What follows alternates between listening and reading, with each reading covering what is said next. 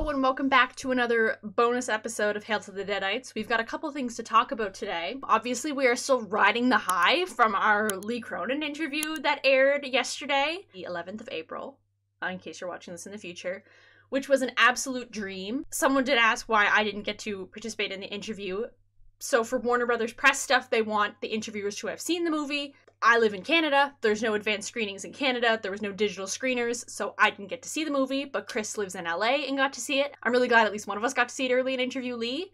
I did get a chance to say hi to him before and after the interview. Very, very nice guy, very down to earth, and just excited to talk about Evil Dead with us. And Chris did an absolutely amazing job on the episode and the interview. I'm over the moon that we got to that. That's it's so cool. I've never like obviously we've had people from like the other Evil Dead franchise entries on here, but it's very cool to talk to like the director of like the new entry. I've posted a lot of pictures online of me taking selfies with my computer screen while the interview was happening. Because uh, the way Streamyard works, they couldn't see what I was doing, but I could I could see what they were doing. So I I just took selfies.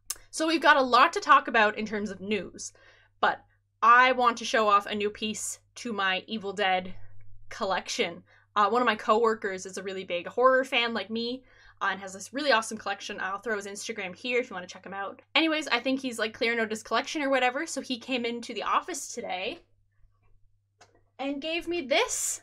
It's a metal print of Ash. Uh, unfortunately, I do not know who made this. It's there's a master of production signature, but it is illegible. But yeah, it's this metal print of a painting of Ash. I absolutely love it.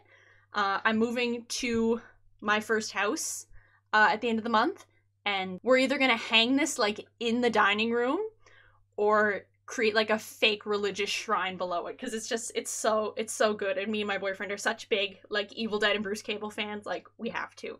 So yeah i absolutely love this. If you know who painted it please let me know so i can credit them when i gush about it um because it's it's so cool and it's such good quality. It's a metal print it's magnet. It's awesome. I love it. It's it's gonna be such an important part of my collection. So next piece of news, and once again it is personal news. I finally got my tickets for Evil Dead Rise. Uh, they went on sale earlier this month, but not in Canada. So I checked and checked and checked, and then I checked today on a whim, and advance tickets were available. So I got a ticket for me and my boyfriend for the Thursday night showing at 7 o'clock. Uh, unfortunately, it is in my least favorite auditorium in our theater. I am very particular about movie seats. I like to be in the back, like dead center in the middle. Dead center. And the room that we're in, there's an aisle down the middle. So there's no seat in the middle. So it's very frustrating. But I got the best seat I could. It's still going to be so cool to see an Evil Dead movie in the theater. I've never had that before. Uh, so I cannot wait. It's going to be so much fun and I can't wait to just see it a bunch of times and talk about it on here day and night for like a week and a half and probably longer. So I probably should have mentioned this when I was talking about Chris's interview with Lee, but Chris actually wrote a review of Evil Dead Rise since he saw it early, uh, and you can check it out on infamoushorrors.com. We've also posted it a lot on the Hail to the Deadite social pages, so if you check those out, you'll be able to read it there. It's an awesome review. It's spoiler free, so no worries if you haven't seen the movie yet, like me. Uh, it's it's a great review. We literally had the best person for the job to go see this movie because we had a very talented person and a very big Evil Dead fan, so we sort of lucked out in terms of that. So go check out uh, that review if you haven't read it yet. So next up, this is semi-breaking news because it just came out today. Um, there's a new Ash skin in Dead by Daylight coming soon, but it sucks. It's it's the Ashy Slashy puppet outfit, which is coming to Evil Dead the game soon. Except that does not look like Ash. That that is that is hash, hashtag not my Ash. I I don't know who this man is. I don't know who this impersonator is. Someone replied and said the Ash face was never great to begin with. Um, and it looks worse than the original one. I played Dead by Daylight for maybe a month, not regularly, because Ash was in the game. This was like pre Evil Dead the game, and he was the only reason I played it because I wanted to play as Ash. And even then I found the the skin was a little off. So it's nice to see them add something new, I guess. I just wish it didn't look terrible. that sounds so mean cuz I I'm dating a game designer, so I know how hard it is to make stuff for games. And it's hard and it's a lot of work and you got to code stuff and program stuff and art design and all that. So I don't want to like shit on the people that designed the skin or whatever, but did they look at a picture of Ash? Did they look at Bruce Campbell's face when they made the skin? Because the face doesn't look like him, the hair doesn't look like him. They have like the face shape right, but the hairline's off. The, the face is just off. I don't know who this man is. Where is Ash? who is this man? I don't know who he is. It's scary. So I, I'm very jealous of people that get uh, press packages for movies. And there's an Evil Dead Rise one popping up in horror journalists' mailboxes. Um, and it's this two foot tall Necronomicon box. And they've been sharing what's inside of it to promote the movie. And I'm I'm crazy jealous. You've got the linguini and the cheese grater that they gave out at the South by Southwest premiere. Uh, there's a little card that says what else is in there. So there it says prepare for a bloodbath and there's a bath mat and a bath bomb and i think it's the bath mat where you put it down and when it gets wet like the wet spot turns red so it looks like blood uh, which i love because they've used the bathtub scene so much in advertising for the movie i thought it was a really creative choice uh, it says fight for your survival and it's liquid death water which i think is a water energy drink i don't know we don't have that here in canada i don't think so i don't even know what it is However, Chris is the expert on liquid death. He is always drinking it when we're recording episodes. I think he was quite excited about that. And then the mom's leg guini. It also comes with this really awesome, like, I think it's a long sleeve shirt. It might be a crew neck, it's hard to tell. Uh, it says Evil Dead Rise, and then it's got a bloody handprint in the bottom. I want it so bad. I want it so bad. I've never given my address to like a PR person because they've never asked me but I I would give my address to a stranger to get one of these. On that note, please do not ask for my address in the comments or in DMs because I will not give it to you unless you show me some sort of credential that you're from the Warner Brothers marketing team and you want to send me the press package. Thank you very much. So, also semi breaking news because it also came out today. Uh, Cavity Colors dropped like the sneak peek at their Evil Dead Rise collection that comes out on Friday at 1 p.m. Eastern. Uh, they've got the Evil Dead Rise shirt with an amazing design. The design is so good. It incorporates so much from the movie, like from what we've seen so far. There's a t-shirt and a zip-up hoodie. The hoodie says Evil Dead Rise on the front and it's got the design on the back. And they said they have one other possible surprise that they'll reveal tomorrow. Maybe it's a blanket. They've done a blanket, I think, for like the original Evil Dead movie. I have that. Might be just another piece of apparel. Uh, maybe it's a Necronomicon pillow in the style of this Necronomicon. I'm excited to see. It might just be a different shirt design, but I think it's cool and I'm very excited to see it.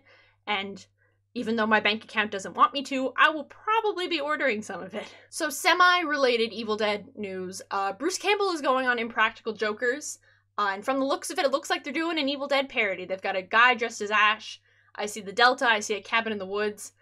Uh, I don't know anything about Impractical Jokers besides Sal. Yeah, I'm excited to see that. I like when Bruce does funny stuff like this. He's quite a funny guy. So yeah, I'm I'm I can't wait to see what they make him do or what he makes people do. I think it'll be really funny. He's quite a comedic guy. Yeah, very very cool piece of promotion to do for the film because I'm guessing it's probably partnered with Evil Dead Rise coming out since he produced it. So another piece of Evil Dead Rise related promotion we got today was a new poster from Creepy Duck Designs. It's really cool. It's quite simple but it's really really nice we've got the necronomicon in it we've got all those hanging crosses that we see in the trailer uh, and then beth and ellie and the chainsaw it looks so cool i would love to get a print of this for my house creepy duck design does some really really awesome stuff and i'm glad that bigger companies are partnering with them because their stuff's really cool and it looks awesome so this this one is a little controversial i think um because i know personally i am an ai hater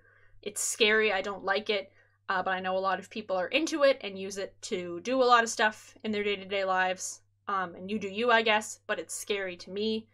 So I'm I'm a little hesitant to do this one. But there is a evil AI, Evil Dead related thing where you put in a photo and become part of the Necronomicon. Never heard of anything like this before, but I thought that we could try it. Yeah, so let's summon our demon doppelganger, I guess. Sorry, it screamed at me. Let me turn that audio on. Or wait, never mind.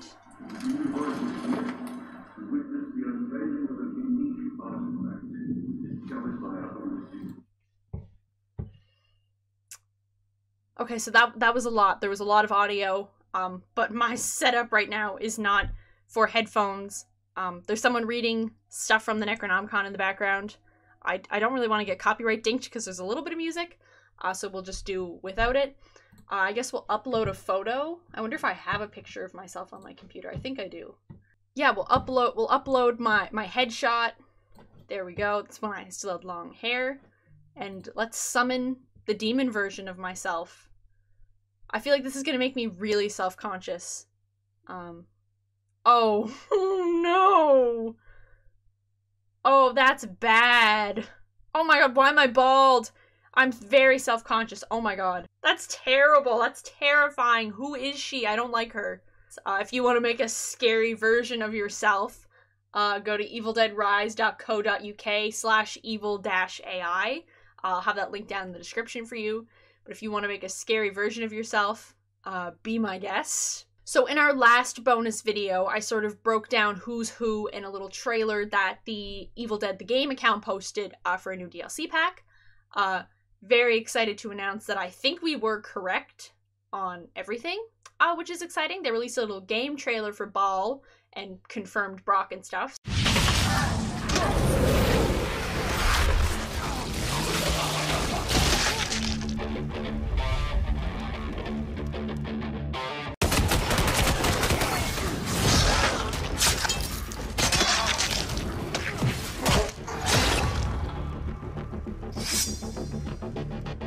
yeah, I'm really excited for this pack to come out and see people play with it. Honestly, I don't know if I'll buy it. I I can't see myself playing as Brock or Baal or really using any of the skins because I mostly main Ruby and Cheryl. Yeah, I mean I'll I'll have a lot of fun watching other people play it, and if they gave me the DLC for free, I would definitely play it. With my own bank account, I don't know if I would invest in it.